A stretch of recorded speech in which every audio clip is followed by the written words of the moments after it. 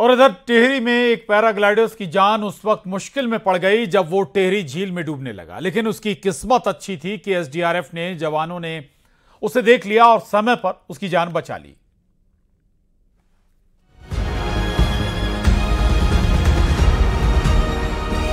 Training के वक्त paraglider बेहद उत्साह के साथ हवा में पैराशूट की मदद से उड़ रहा था, लेकिन उसने नहीं सोचा होगा, कुछ ही देर बाद वो मुश्किल में पड़ जाएगा। टिहरी में पैराग्लाइडिंग की ट्रेनिंग चल रही थी।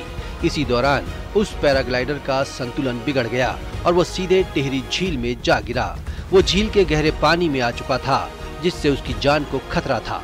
उसे फ़ौरन मदद की ज़रूरत थी, लेकिन जैसे ही वो झील में गिरा, वहीं कुछ ही दूरी पर एसडीआरएफ के जवानों ने उसे देख लिया। बिना देर किए महज कुछ ही पलों के बाद एसडीआरएफ के जवान मोटरबोट के साथ मौके पर पहुँच गए। उन्होंने पैराग्लाइडर का उत्साह बढ़ाया। उसके बाद रेस्क्यू ऑपरेशन शुरू किया गया। बड़ी मशक्कत के बाद उस पैराग्लाइडर को बाहर निकाल लिया। एसडीआरएफ की टीम के सही वक्त पर वहाँ पहुँचने से उसकी जान बच गई। ये हादसा उस वक्त हुआ जब वहाँ पैराग्लाइडिंग की ट्रेनिंग चल रही थी। इसी दौरान उस पैराग्लाइडर का संतुलन बिगड़ने से ये हादसा हो गया। ट्रेनिंग के दौरान एसडीआरएफ के जवान पहले से ही उस झील में मौजूद थे और बिना देर किए उसके पास पहुँच गए। इस तरह एसडीआरएफ के जवान उसके लिए देवदूत बनकर आए।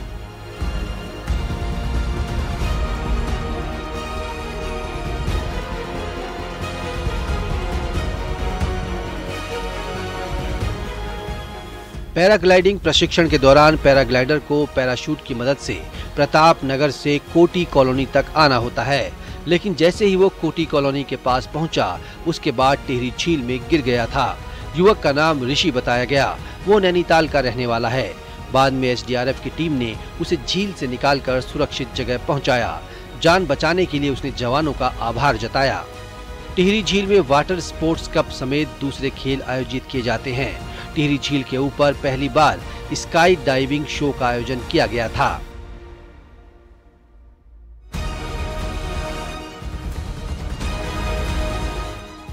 ब्यूरो रिपोर्ट, न्यूज़ 18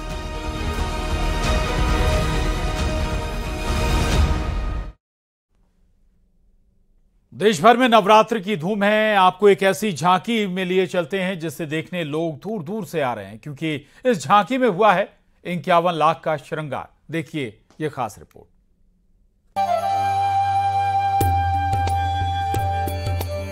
इस झांकी में एंट्री होते ही सबकी नज़र पड़ती है इस खास सजावट पर। नोटों का वंदन बार देखिए। नोटों की झालरें और नोटों से हुआ माता का ये खास श्रृंगार भी। बड़े करीने से सजावट की गई है इस पंडाल की।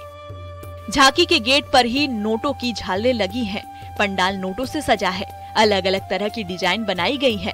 माता रानी का श्रृंगार ना तो सोने चांदी के जेवर से किया गया है, ना ही किसी और चीज़ से। बल्कि यहाँ आयोजकों ने नोटों से किया है माता रानी के पंडाल की अनोखी सजावट। ये तस्वीर है नरसिंहपुर की। इक्यावन लाख नोटों से सजी इस झांकी को देखने के लिए लोगों का हुजूम उमड़ रहा है। मैं सिंहपुर से स्पेशली ये देवी जी की अद्भुत प्रतिमा को देखने आई। दरअसल मैंने सोशल मीडिया पे इनकी डेकोरेशन के बारे में देखा हुआ था। तब से मैं बहुत ज़्यादा एक्साइटेड थी कि नोटों की मदद से इतनी अच्छी डेकोरेशन कैसे हो सकती है।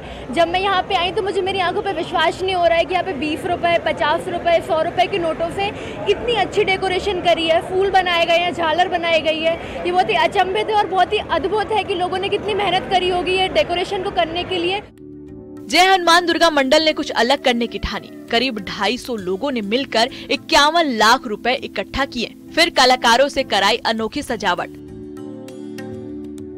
मंडप की सजावट की खास बात यह है कि बाहर से आए कलाकारों ने 20, 50, 100, 200 से लेकर 500 तक की नोटों की झालरें बनाकर पूरे मंडप को बेमिसाल तरीके से सजाया है जिसके बीचों बीच माता रानी की प्रतिमा स्थापित है।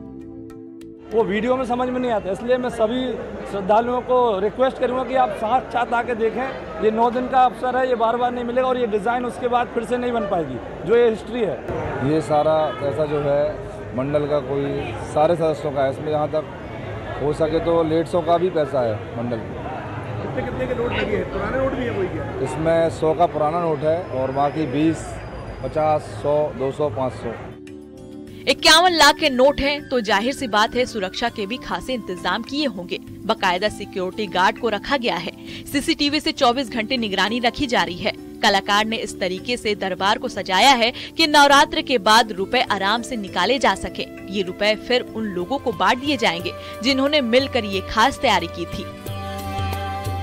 तो एक बार फिर कर लीजिए इस अनोखे पंडाल के दर्शन।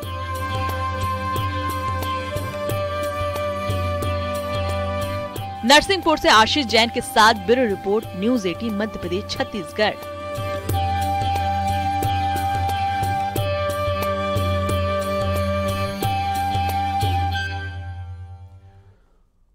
और सुपर सिक्स में वक्त हो चला एक छोटे से ब्रेक का। बहुत जल्द लौटेंगे। जाएगा नहीं।